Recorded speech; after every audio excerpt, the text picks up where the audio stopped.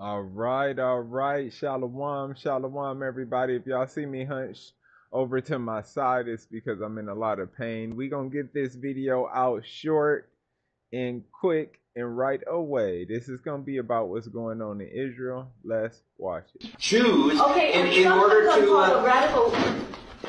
don't you stick things in my face.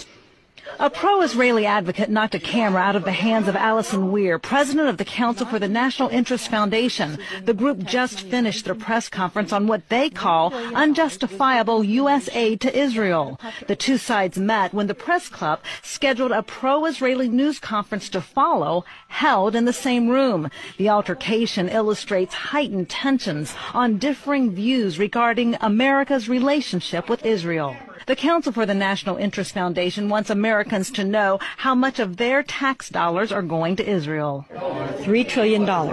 That's including a massive amount of direct money to Israel, Three trillion dollars, y'all. then a lot of hidden costs. CNIF alleges Israel receives so much aid and special treatment because the U.S. Congress is controlled by AIPAC, America's pro-Israeli lobby. Executive Director Philip Giraldi says Israel spends a lot of money on U.S. elections. There are many Israeli PACs, and they do give a lot of money very selectively to congressmen that they want to support.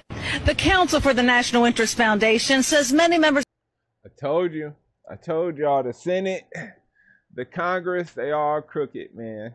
Let's get it. of Congress fear if they don't always side with Israel that they will face retaliation in their own reelection campaigns. If a congressman uh, crosses the Israel lobby by voting against aid for Israel or voting against some some uh, legislation that Israel favors, they very often will find that the next time they're running for office, there will be a candidate put up against them who is very well funded, Giraldi is a former CIA counterterrorism expert. He questions why America gives aid to Israel when Israel conducts more espionage for profit against the U.S. than any other U.S. friendly country.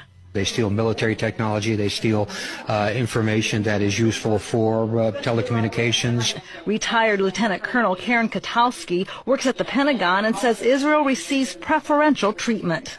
We do not question what the Israelis want. Kwiatkowski believes America is beginning to take more interest in U.S. foreign policy in the Middle East, in large part due to tough economic times. More and more Americans want to know where their hard-earned tax dollars are going. All right, y'all. Let me know what y'all think about that in the comments. That's the end of this video. On that, I just want to say Kaula Ahaya by Shimei Shai, which is all praises to the Most High in the name of His Son. Let's talk about this. Let's talk about it.